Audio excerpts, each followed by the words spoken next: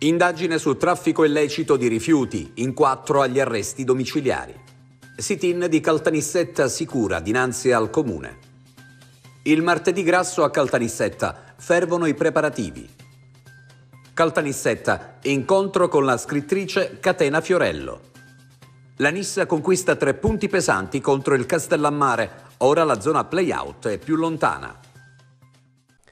Bentrovati, indagine su un traffico illecito di rifiuti in quattro agli arresti domiciliari.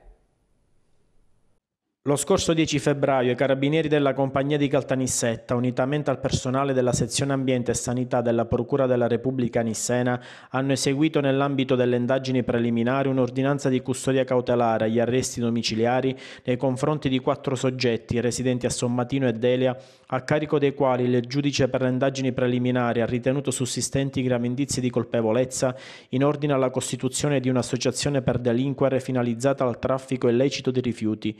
Il provvedimento trae origine da un'ampia articolata attività investigativa iniziata nel 2021 con il coordinamento della Procura della Repubblica di Caltanissetta che avrebbe consentito di individuare una presunta attività organizzata di raccolta e stoccaggio di un'ingente quantità di rifiuti di diverso genere in un'area di circa 3.000 metri quadrati nel comune di Sommatino e in un deposito nel comune di Delia. In particolare gli indagati avrebbero operato al fine di trasformare i siti sopraindicati in veri e propri depositi non autorizzati per lo smaltimento. Gli investigatori hanno analizzato la modalità di raccolta dei rifiuti consistenti in rifiuti urbani, rifiuti speciali, rifiuti urbani pericolosi, tra cui arredamenti, elettrodomestici e autovetture destinate alla rottamazione che giornalmente gli interessati ritiravano o ricevevano da privati e aziende del territorio. Continua così l'attività repressiva dell'arma dei carabinieri verso i reati ambientali che dalle evidenze investigative risultano sempre più frequenti. Nell'ottobre del 2022 a Deli e Bonpensiere sono stati deferiti in stato di libertà due persone titolari rispettivamente di un'azienda ortofrutticola e di un'impresa edile per il reato di attività di gestione di rifiuti non autorizzata con il conseguente sequestro di due aree rispettivamente di 1700 m2 di superficie e 2500 m2, mentre nel novembre del 2022 sono stati tratti in arresto sei persone appartenenti al medesimo nucleo familiare, destinatari di un'ordinanza di custodia cautelare agli arresti domiciliari per aver creato in un'area demaniale destinata ad ospitare la stazione ferroviaria del comune di Sommatino una discarica abusiva. Controlli a Gela, due giovani non si fermano all'alt della polizia. La Polizia di Stato ha eseguito una misura cautelare nei confronti di un ragazzo di 21 anni di Gela indagato in concorso con un minore di 18 anni per i reati di porto di arma da fuoco clandestina, ricettazione e più furti aggravati. Gli agenti del commissariato di Gela in provincia di Caltanissetta nel corso delle indagini preliminari hanno eseguito l'ordinanza di applicazione della misura cautelare della custodia in carcere emessa dal GIP presso il Tribunale di Gela su richiesta della Procura della Repubblica nei confronti di un 21enne per i reati di porto di arma clandestina con matricola a brasa, ricettazione della stessa e diversi furti aggravati. In particolare nel novembre dello scorso anno la Polizia di Stato nel corso dei servizi di controllo del territorio ha notato due giovani con il volto travisato da una maschera identica a quella utilizzata dai personaggi di una nota serie tv a bordo di un ciclomotore privo di targa transitare nei pressi del centro storico di Gela senza fermarsi all'alt da parte della polizia. Subito il passeggero ha estratto un fucile a canne mozze e lo ha puntato contro gli agenti all'inseguimento. Nel corso della fuga nel centro urbano uno dei due ragazzi ha buttato via l'arma. Intanto i due sono riusciti a dileguarsi tra le vie del centro facendo perdere le proprie tracce. Dopo un'articolata attività di indagine coordinata dalla Procura della Repubblica di Gela, la polizia è riuscita a catturare il 21enne e in seguito all'interrogatorio è stato posto al regime degli arresti domiciliari. A Ravanusa un giovane ferito da un fendente durante i festeggiamenti del carnevale. Un ragazzo di 16 anni è finito all'ospedale dopo essere stato accoltellato durante una lite nel centro di Ravanusa, in provincia di Agrigento, mentre era in corso la manifestazione per il carnevale. Per fortuna il sedicenne non sarebbe in pericolo di vita. I carabinieri della stazione di Ravanusa stanno cercando di ricostruire cosa sia effettivamente accaduto per comprendere cosa abbia innescato la lite e individuare i protagonisti. Secondo una prima ricostruzione, il ragazzo avrebbe ricevuto una coltellata nel lato destro del torace Subito è stato medicato dai sanitari del pronto soccorso dell'ospedale di Canicattì, dove è attualmente ricoverato nel reparto di chirurgia. Manifestazione di Caltanissetta sicura dinanzi a Palazzo del Carmine. Sabato mattina, davanti al comune di Caltanissetta, si è svolto un sit-in organizzato dall'associazione Caltanissetta Sicura, guidata dai loro rappresentanti Sergio Cirlinci, Rita Capraro e Adriana Marotta.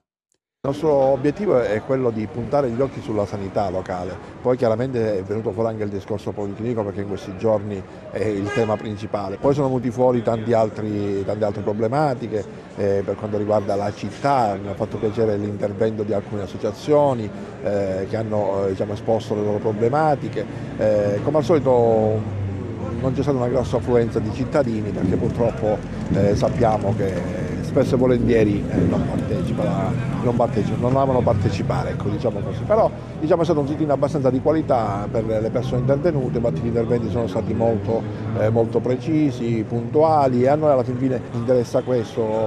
Giuseppe Licata, un nisseno eletto consigliere regionale in Lombardia. Il sindaco di Lozza, Giuseppe Licata, ha concluso positivamente la sua avventura da candidato al Consiglio regionale della Lombardia rientrando tra i sette eletti nella provincia di Varese. Il 45enne di origini siciliane, nato a San Cataldo, ha anche vissuto a Caltanissetta dove ha frequentato il liceo scientifico. Una lunga carriera politica alle spalle per l'ingegnere informatico che da anni vive in Lombardia lavorando in prefettura e ha anche conseguito un master in organizzazione e innovazione nella pubblica amministrazione. Giuseppe Licata, al secondo mandato da primo cittadino nel comune lombardo, nonché coordinatore provinciale di Italia Viva, ha rivestito anche il ruolo in provincia di consigliere, occupandosi di politiche del lavoro, bandi europei, digitalizzazione e bilancio, così come si precisa nella sua biografia online.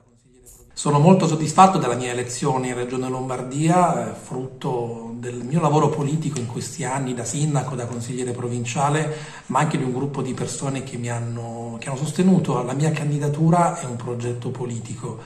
Adesso per me comincia un percorso nuovo, ma con l'obiettivo di sempre, che è quello di fare delle cose concrete per i cittadini e per il territorio. Sento anche un'emozione in più da Nisseno, sento la responsabilità e anche l'orgoglio di rappresentare in qualche maniera la sicilianità. Spero di farlo nel migliore dei modi. ASP di Caltanissetta, Luciano Fiorella è il nuovo direttore sanitario. Luciano Fiorella è il nuovo direttore sanitario dell'ASP di Caltanissetta ruolo ricoperto fino a poco tempo fa da Marcella Santino. Direttore di presidio dell'ospedale Vittorio Emanuele di Gela è stato nominato dal direttore generale Caltagirone, che in una delibera dichiara che l'incarico dato a Fiorella è fondato su un rapporto di fiducia e che con quest'ultima figura è strettamente correlato specie per funzioni, responsabilità e obiettivi da raggiungere. Luciano Fiorella sarà direttore sanitario dell'azienda sanitaria provinciale di Caltanissetta sino alla cessazione dell'incarico dell'attuale commissario straordinario. Covid nel Nisseno, 36 positivi nell'ultima settimana, 15 a Caltanissetta, 13 a Gela, 3 a San Cataldo. Negli ultimi sette giorni nella provincia di Caltanissetta sono stati riscontrati 36 casi di positività al Covid-19, tutti in isolamento domiciliare, 15 pazienti di Caltanissetta, 13 di Gela, 3 di San Cataldo, 1 di Butera, 1 di Mazzarino, 1 di Mussomeli, 1 di Serra di Falco e 1 di Niscemi. Sono stati ricoverati in degenza ordinaria 4 pazienti di Caltanissetta, 2 di Gela, 1 di Niscemi, 1 di Sutera e 2 provenienti da fuori provincia, mentre dimessi dalla digenza ordinaria sono 2 pazienti di Caltanissetta, 2 di Gela, 1 di San Cataldo e 1 proveniente da fuori provincia. È deceduto purtroppo un paziente a Caltanissetta che era stato riscontrato positivo al coronavirus.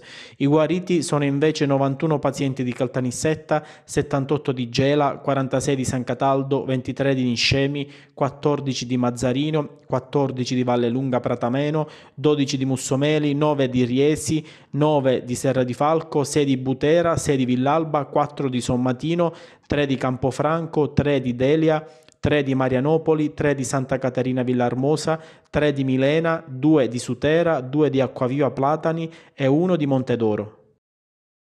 Il martedì grasso a Caltanissetta parla il presidente della Proloco Luca Miccichè. È tempo di maschere coriandoli e stelle filanti. Durante il carnevale grandi e piccini si divertono nell'indossare costumi, abiti che permettono loro di medesimarsi nei personaggi preferiti, tratti dal mondo dei cartoni, dei film o da quello reale. Sono giorni di feste di risate, accompagnate anche da qualche dolce tipico e in città sono state organizzate diverse iniziative per festeggiare questo periodo. E così anche il martedì grasso, l'ultimo giorno di carnevale che precede il mercoledì delle ceneri, in centro storico, ci sarà un evento che punterà al divertimento, soprattutto per i bambini. Carnival Party 2023. Giorno 21 febbraio alle 17.30 la Procura di Caltanissetta insieme al Comune offrono un intero pomeriggio di divertimento dedicato alle, ai bambini e alle famiglie. Eh, ci saranno dei gonfiabili, galera dei pirati, sfilate, eh, tanti giochi, tanta musica, tutto dedicato ai bambini e al loro divertimento. Sarà l'ultimo giorno di carnevale, martedì grasso, eh, quindi chiuderemo un po' in bellezza questa serie di eventi di carnevale che già si stanno svolgendo proprio in, in centro storico. A Caltanissetta incontro con la scrittrice Catena Fiorello. Grande accoglienza ed emozione per Catena Fiorello, scrittrice, autrice e conduttrice televisiva, sorella di Rosario e Beppe Fiorello, rispettivamente showman e attore, che domenica 19 febbraio ha incontrato a Caltanissetta i lettori e firmato le copie del suo nuovo romanzo Ciatuzzu. Ciatuzzu parla di vari tipi di separazione separazione dovuta a un addio fisico, la morte della mamma del protagonista quando lui ha nove anni e si chiama Nuzzo, e poi un'altra separazione che avviene quando lui un, un anno e mezzo dopo, all'incirca dieci anni e mezzo, più o meno, mm, sì, dieci, dieci anni e mezzo, e deve raggiungere il padre in Belgio perché um, ormai in Sicilia non può più rimanere con i nonni e quindi deve andare lì, da un'altra parte, lontano dalla sua terra. I temi della separazione e lontananza sono spesso presenti nei libri della Fiorello. Comune denominatore eh, delle separazioni, della lontananza, che potremmo anche chiamare emigrazione. Chiunque si trovi nella condizione di emigrare deve lasciare un posto a cui è legato e deve affrontare l'ignoto e non è facile. Altro tema sempre presente è quello della donna. Per questo motivo dal 2020 firma i suoi romanzi Catena, Fiorello, Galeano. Galeano è il cognome della madre. Parlo tanto di donne, di tematiche legate al mondo femminile, che poi però è anche quello maschile, e quindi mi sembrava giusto proprio omaggiare la figura femminile per eccellenza della mia vita, mia madre. L'autrice ha già in cantiere un nuovo romanzo. Sicuramente il nuovo romanzo che pubblicherò sarà il terzo volume della saga delle signore di Montepepe, ovvero le signore degli arancini, dei cannoli. Questa volta le ritroviamo con un'altra specialità della gastronomia o della pasticceria, non si sa, siciliana, potrebbe essere la caponata, potrebbe essere la granita, ma poi noi abbiamo talmente tante specialità che questa saga potrebbe non finire mai. Fai i luoghi del cuore, la provincia di Caltanissetta torna protagonista con la Torre di Manfria. La Torre di Manfri al settimo posto tra i dieci siti siciliani più votati. Il capodelegazione FAI, Fondo Ambiente Italiano di Caltanissetta, Giulia Carciotto, esprime la propria soddisfazione per l'esito del censimento I luoghi del cuore. Il sito infatti ha ottenuto 4.447 voti. Sono numerosi però i luoghi in giro per la provincia che negli anni sono riusciti a rientrare nell'elenco, dalla cappella di San Marco a Sutera al castello manfredonico di Mussomeli, o ancora il villaggio Monte degli Ulivi a Riesi, le mura Timoleontee a Gela e per Caltanissetta il castello di Pietra Rossa, la Biblioteca Scarabelli e l'Abbazia di Santo Spirito. Promuoviamo forme di relazione con l'ambiente e con i luoghi tenendo conto dei bisogni, delle aspirazioni e delle opportunità della comunità, afferma Giulia Carciotto, capodelegazione Fai Caltanissetta. In questi anni ci siamo concentrati su attività di conoscenza e di valorizzazione, tessendo reti virtuose con istituzioni culturali e territoriali, al fine di avere una fruizione e un'esperienza costruite sulla reale conoscenza del territorio. Nel comunicato della delegazione di Caltanissetta viene ricordato anche il comitato Comitato Viviamo Manfria, motore e promotore della raccolta firme, un pensiero a Giovanni Cacioppo, testimonial d'eccezione, ricordato anche l'impegno dei volontari, dei giovani e della delegazione del FAI e le amministrazioni comunali della provincia e in particolare i sindaci dei comuni di Caltanissetta, Mussomeli e Gela. Real Mestranza 2023 le categorie muratori e carpentieri rinnovano le cariche in vista della prossima settimana santa. Proseguono i rinnovi delle cariche nelle categorie della riammestranza per il 2023. La settimana scorsa infatti, e cioè lunedì 13 febbraio, l'Associazione Unione Muratori si è riunita in assemblea per procedere alle elezioni in vista delle prossime processioni. La seduta, presieduta dal presidente della categoria Gianni Taibbi, nonché gran cerimoniere della riammestranza, ha visto la nomina del nuovo portabandiere, il 64enne Filippo Palermo. Assegnate anche le cariche di alabardiere al ventenne Michele Sanicola e portabaldacchino al 45 25enne Angelo Pesce. Qualche giorno dopo anche la categoria Carpentieri Ferraioli ha proceduto all'elezione delle nuove cariche. In questo caso l'assemblea del 15 febbraio è stata presieduta dal presidente Giuseppe Tumminelli, attuale presidente anche dell'associazione Real Mestranza. Per il 2023 dunque sarà il maestro Michele Infantino di 67 anni il portabandiera della categoria. Il giovane quindicenne Andrea Santoro, che sfida in processione da quando ne aveva 5, sarà l'alabardiere, mentre il 25enne Giuseppe Montalbano il portabaldacchino. Pericolo di coppia, massiccia presenza di pubblico al Teatro Rosso di San Secondo di Caltanissetta.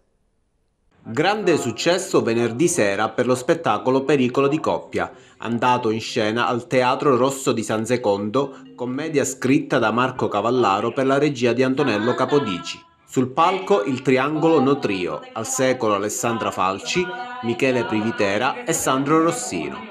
Commedia surreale piena di risate dove sono andate in scena vari sketch di coppie dall'età della pietra sino ai nostri giorni. Finalmente abbiamo debuttato nella nostra città con questo nostro spettacolo tanto diciamo, vissuto in fase di realizzazione, la produzione del Triangolo Notrio con i miei colleghi, amici Sandro e Michele.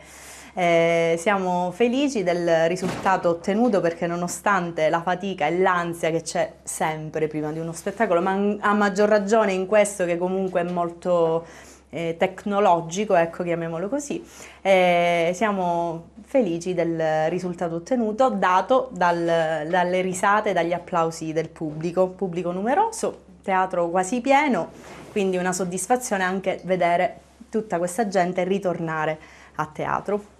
È sempre bello avere un teatro, se non pienissimo quasi, è sempre una bellissima emozione, a maggior ragione quando si debutta con uno spettacolo nuovo. E tra l'altro dopo un po' eh, che il trio mm, non debuttava con spettacoli nuovi, eh, l'emozione naturalmente era triplicata, però il risultato sembra essere stato di gradimento del pubblico e quindi questo ci dà tantissime soddisfazioni e adesso partiremo eh, con una serie di date in giro per la Sicilia.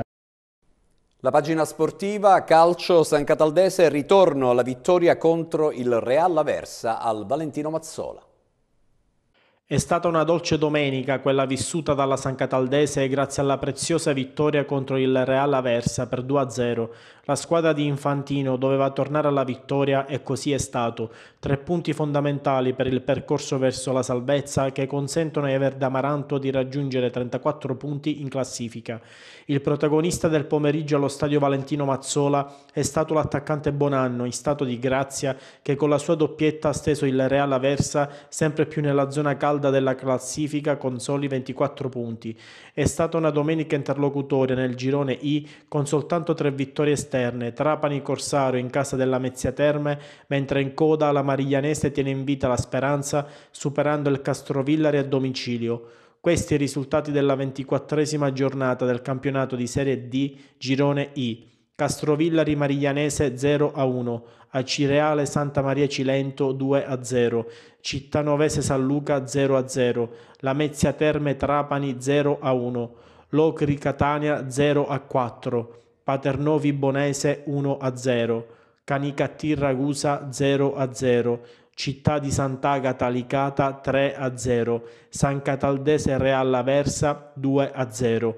La classifica vede sempre il dominio del Catania a 63 punti, segue Locri a 46, Città di Sant'Agata 45, la Mezzia Terme 39, poi Trapani e Licata 38, Vibonese San Cataldese a 34 punti, Canicattì 33, Santa Maria Cilento 31, Ragusa 27, Città di Acireale 26, Castrovillari 26, San Luca 25, Real Aversa 24, Cittanovese 22, Paternò 21, chiude la Mariglianese a 17 punti. Campionato di eccellenza, la Nissa conquista tre punti pesanti contro il Castellammare. Ora la zona play-out è più lontana. La Nissa ritrova la vittoria dopo un periodo di crisi, ma quanta fatica per battere il Castellammare al Tomaselli. Prima mezz'ora contratta da parte delle due formazioni, con poche occasioni da gol e due portieri inoperosi. Partita che si sblocca al trentesimo con un'azione corale da parte di Sacco che riesce a sbloccare la partita e dare alla Nissa la carica necessaria. Il finale di tempo si chiude prima con la traversa di Di Biase colpita su calcio di punizione e poi con il rosso dato al centrocampista del Castellammare Priola, per somma di ammonizioni. Nella ripresa, con l'uscita di Sacò, la Nissa non riesce a mordere a metà campo e il Castellammare in 10 riesce a impadronirsi della gara e fare paure padroni di casa, che sprecano tre palle gol nitidissime due volte con Esposito prima e con Faramarna successivamente. Nel finale di gara, arrembaggio degli ospiti e biancoscudati che vengono salvati da D'Amico, che con tre parate salva risultato riesce a regalare tre punti importanti alla Nissa e riscattare il gol subito da metà campo domenica scorsa contro la Mazzarese. Noi siamo tutti, eh, tutti uniti, un gruppo unito, un, un gruppo com compatto, poi l'abbiamo dimostrato pure in campo, abbiamo sofferto assai, però eh, siamo, ci siamo sempre aiutati in campo, fuori dal campo, siamo una famiglia. Pensiamo, pensiamo a Gela che, che domenica prossima eh, pensiamo a prendere tre punti, sappiamo che sarà una partita difficile, una partita combattuta giocando pure loro dentro casa, avranno tutto a favore, però noi andremo andremo là per prendere i tre punti, eh, questo è l'importante per noi. Poi dopo Gela pensiamo alle altre, altre partite. È stata una partita difficile, ma ce l'aspettavamo, era obbligatorio vincere, abbiamo vinto. Io penso di aver fatto solo il mio, il mio dovere, niente di più. E alla fine l'importante è fare il tesoro dei propri errori e reagire bene, come spero e penso sia, sia stato. Sono tre punti assolutamente per ripartire, per andare più forte di prima, di questi risultati che comunque ci sono molto stretti. Ora comincia un altro cammino. Un'ingenuità che non doveva succedere, ci ha costretti a giocare buona parte di partita in 10 e abbiamo provato a giocarcela comunque concedendo gli spazi per il raddoppio. È venuta fuori una partita aperta dove la Nizza poteva raddoppiare ma noi abbiamo sprecato troppo, dovevamo assolutamente segnare, è un problema che ci portiamo avanti da un po' di tempo ed è il motivo per cui stiamo scendendo qualche posizione in classifica. Dobbiamo riprendere il cammino che avevamo 6-7 partite fa, ritrovare fiducia, adesso un momento è delicato però ci sono tutte ancora le condizioni per, per poterci salvare. Eccellenza, Girone A, 22esima giornata. Acragas Parmonbal 3-0. Casteldaccia Mazzarese 2 a 4, Leonfortese Cuspalermo 0 a 0, Mazzara Nuova Città di Gela 2 a 1, Nissa Castellammare 1 a 0, Oratorio San Ciro e Giorgio Profavara 0 a 2, Resuttana Enna 0 a 2, Sciacca Don Carlo Misilmeri 1 a 1. La classifica. Enna 54, Acragas 52, Profavara 48, Don Carlo Misilmeri 41, Mazzarese e Mazzara 38, Sciacca e Casteldaccia 35, Nissa 28, Oratorio San Ciro e Giorgio 25, Leonfortese 24, Castellammare 18, Resuttana 17, Nuova Città di Gela 16, Cus Palermo 15, Parmonval 8. Basket Serie D invicta vittoriosa al Palacanizzaro, dodicesima affermazione stagionale consecutiva.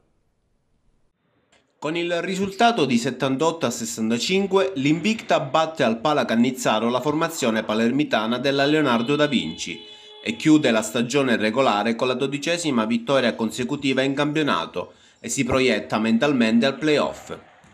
Partita mai in sofferenza per i cestisti nisseni guidati dal coach Giuseppe Spena, che hanno offerto al loro pubblico un'altra prova di forza schiacciante, avendo sempre in mano la gara per tutti e quattro i tempi. Adesso la stagione biancorossa continua col playoff, obiettivo stagionale raggiunto con la voglia di sognare in grande. Abbiamo portato avanti questa cavalcata mantenendo l'imbattibilità, era importante, eh, soprattutto la trasferta di Capodorlando dove è stata una partita molto sofferta e poi questa sera ci siamo riconfermati tra le mura amiche eh, con, eh, mettendo in campo sin da subito Antonio Palermo del 2006 eh, e voglio sottolineare anche l'ingresso di Mattia Lachina che è stato un ingresso molto, molto sprint, dato, è entrato da veterano, eh, ci ha dato punti, punti, importanti in un momento dove Palermo non, non rinunciava a cedere a, alla, nostra, alla nostra compagine. Voglio ringraziare il pubblico che stasera è stato molto caloroso come da, dall'inizio del campionato vedo sempre più persone, vedo la squadra sempre più seguita. Ringrazio a nome della società tutto, tutto, tutto il pubblico che ci segue, veramente è una bella cornice. Praticamente ci troviamo dove volevamo essere. Non ci aspettavamo di concludere il campionato con 12 vittorie di fila, però sapevamo che sarebbe stato un campionato diverso, migliore rispetto a quello dell'anno scorso e, e, il campo ha dato conferma di, di questo. Ora, ora, resettiamo tutto e inizia il vero campionato ora ci sono delle partite molto, molto toste, quindi aspettiamo la prossima, fra due settimane. Due settimane, adesso quindi testa al playoff. Assolutamente sì. Chi vi aspettate di incontrare? Molto probabilmente incontreremo Sant'Agata se rimane, rimane in questo modo la classifica. Basket, Serie D, Girone B, quattordicesima giornata. Basket Messina, Sant'Agata 52 a 65. Virtus Trapani, Capobasket 71 a 87. Invicta Leonardo da Vinci 78 a 65. Riposa Zannella Cefalù. La classifica. Invicta 24. Zannella Cefalù e Capobasket 16. Sant'Agata 14. Leonardo da Vinci 6. Virtus Trapani 4, Basket Messina 2. Volley Serie B2 femminile, l'Alba Verde Caltanissetta si impone a Pedara. L'Alba Verde rispetta il pronostico di vittoria contro il fanalino di coda Planet e ritorna da Pedara con la vittoria in tasca per 3-7 0. La formazione nissena si gode il ritorno al successo in trasferta dopo un'anomala astinenza e continua a tenere il passo delle prime della classe Zafferana e Pallavolo Crotone. Dopo un primo set dominato è seguito un secondo parziale in cui le nissene hanno sempre tenuto in mano il pallino del gioco. Il terzo set sembrava inizialmente svolgersi sulla falsariga dei precedenti, ma la formazione catanese ha tenuto testa alle pallavoliste nissene, che alla fine hanno portato a casa il terzo e ultimo set e l'intera posta in palio. Appuntamento adesso a sabato 25 febbraio, quando al Pala Cannizzaro l'Alba Verde incontrerà la Gioiosa. Volley, Serie B2, Girone M, sedicesima giornata. Fidelis Torretta Gioiosa 3 a 1. Procori Ericina Zafferana 1 a 3. Stefanese Ardens Comiso 3 a 2. Planet Albaverde 0 a 3. Brico City Cuscatania 2 a 3. Volley Region Pallavolo Crotone 0 a 3. Saracena Funivia Etna 3 a 1. La classifica. Zafferana 41. Pallavolo Crotone 38. Albaverde 37. Fidelis Torretta 34. Procori Ericina 33, Gioiosa 30, Cuscatania 27, Saragena 25, Volley Region 21, Funivia Etna 18, Brico City 13, Stefanese 8, Ardens Comiso 7, Chiude Planet 4. È tutto, vi lascio al meteo e alle informazioni di pubblica utilità. Grazie per l'attenzione, appuntamento rinnovato alle prossime edizioni.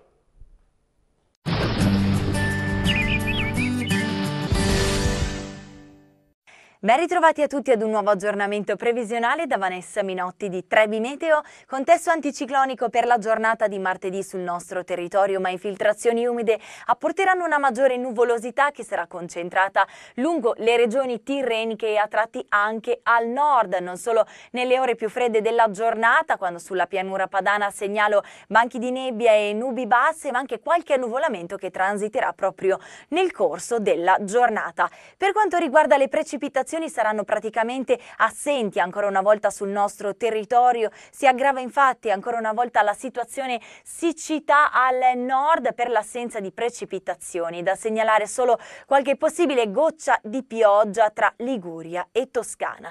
In definitiva la giornata di martedì sarà caratterizzata ancora una volta da clima mite con massime oltre la media, punte anche di 17-19 gradi, contesto di stabilità atmosferica con una maggiore nuvolosità nuvolosità da segnalare sul versante tirrenico, sulla pianura padana tratti anche nel corso del giorno, altrove invece maggiori schiarite. Tutti i dettagli come sempre sull'app di Trebi Meteo. Servizi di pubblica utilità. Farmacie di turno, Caltanissetta, servizio diurno, Vizzini, Viale Trieste. Servizio notturno, La China, via Fraggia Ratana.